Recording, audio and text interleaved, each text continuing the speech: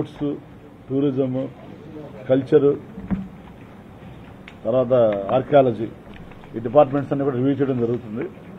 ముందుగా మీకు already sports గురించి చెప్పడం జరిగింది.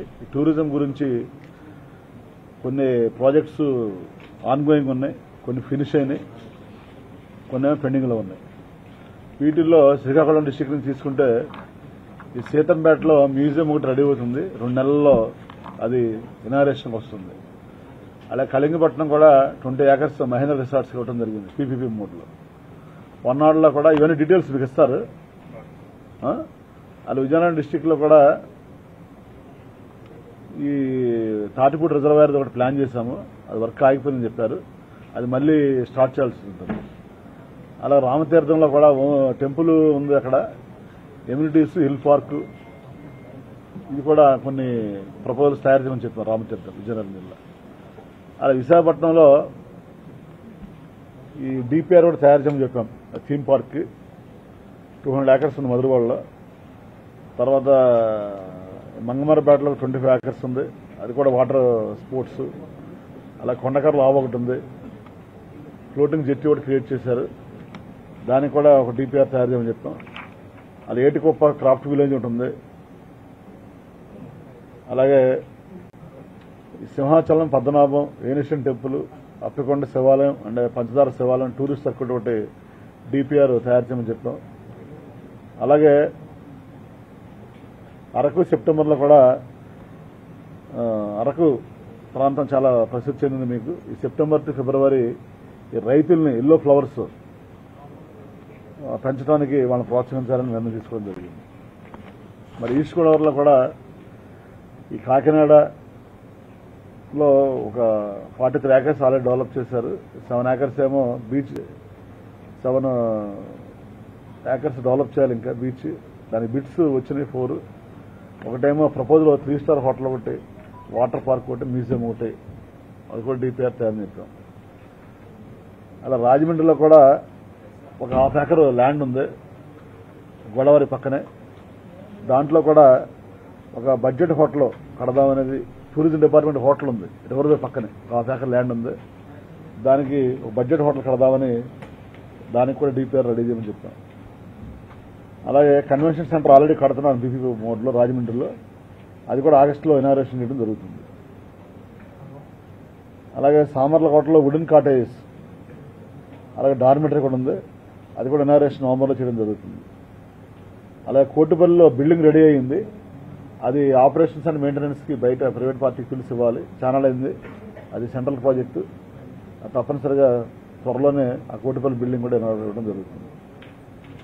అలాగే Kakinada beach Shilparamam six has six acres add more add eight acres plan అంటే ఈ వాంటెడ్ శిల్పారాం అతనికి ఇస్తే ఎక్స్టెండ్ చేస్తారని శిల్పారామం కూడా ఎక్స్టెండ్ చేయాల్సి ఉంటుంది ఆల్రెడీ ఉంది. ఆల్రెడీ సిక్స్ ఎకర్స్ ఉంది. దానికి ఇది కలపమంటున్నాను పాపికొండల బోట్స్?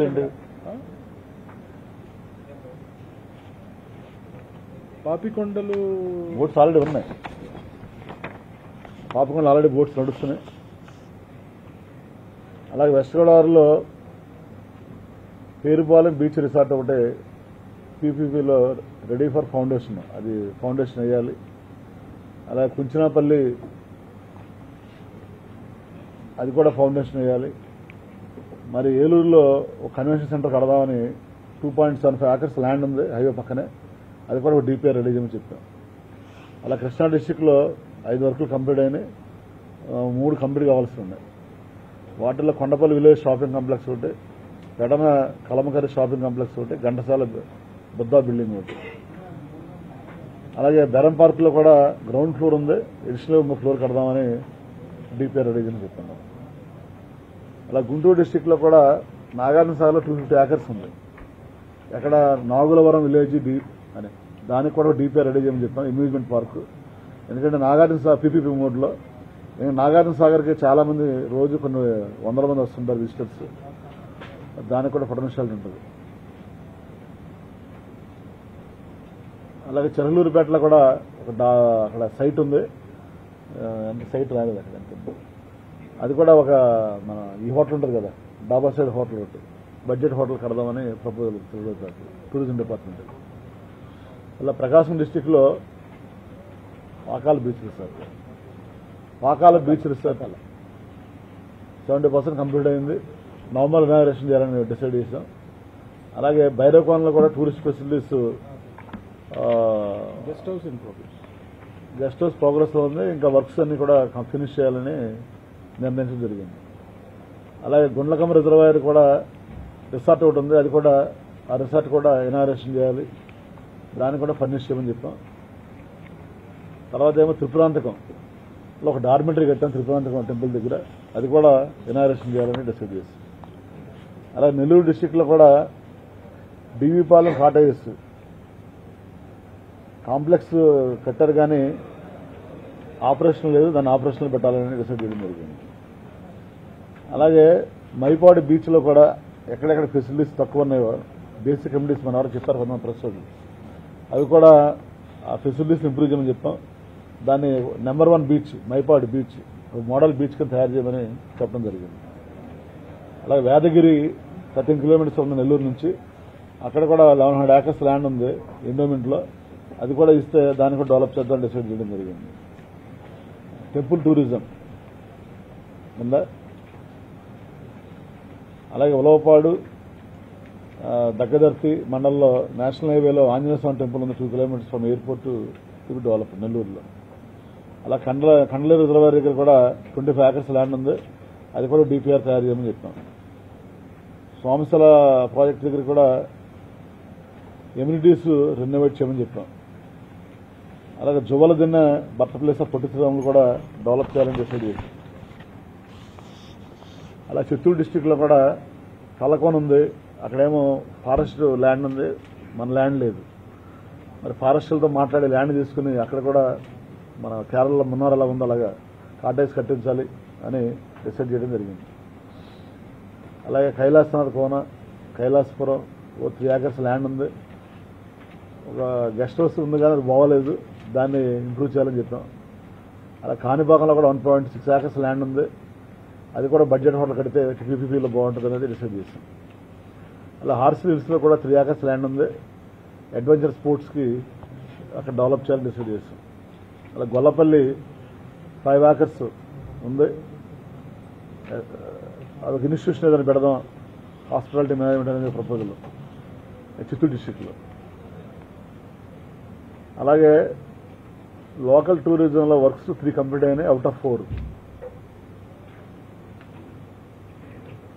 ఆ పలమనేరులో ఒకటే ఇనాగరేషన్ ఉంది అది చేయాలి. అలా కుప్పం కాన్స్టిట్యున్సీలో కూడా ఎక్కువ tourism seventy percent works complete అయినాయి అవి కూడా కంప్లీట్ చేయాలి. అలా నమియాల ఎక్కువ టూరిజం వర్క్ కూడా ప్రోగ్రెస్లో ఉంది. తర్వాత కడప డిస్టిక్ కడపలో Buddhist managements ready for inauguration అలాగే ఒక బుద్ధిజం స్కూల్ ఒకటి రోప్వే గండికోటకి ప్రోగ్రెస్లో ఉంది. తర్వాత అడ్వెంచర్ అకాడమీ ఇనాగరేషన్ ఉంది కానీ అది ఆపరేషన్ లేదు అది చేయాలి. అలాగే కొత్తగా ఎయిట్ ప్రాజెక్ట్స్ కడప జిల్లాలో ప్రపోజ్ చేయడం జరిగింది. బ్రహ్మంగారి మఠం ఎక్కువ ప్రాజెక్ట్ ఒకటి బ్రహ్మంగారి మఠంలో. అలాగే ఇడుపులపాయలో రెస్టారెంట్ హాఫ్ కంప్లీట్ అయింది. అది ఒక టెన్ ల్యాక్స్ ఫండ్స్ పెడితే కంప్లీట్ అవుతుంది. ఒక రెస్టారెంట్ ఆపరేషన్లో ఒక రెస్టారెంట్ రెడీ చేయమని చెప్తాం ఇడుపులపాయ ఎందుకంటే daily five hundred to thousand members వెళ్తున్నారు ఇడుపులపాయ అలా ఒంటిమెట్లో కూడా టీటీడీ ఫండ్స్ ఇచ్చింది.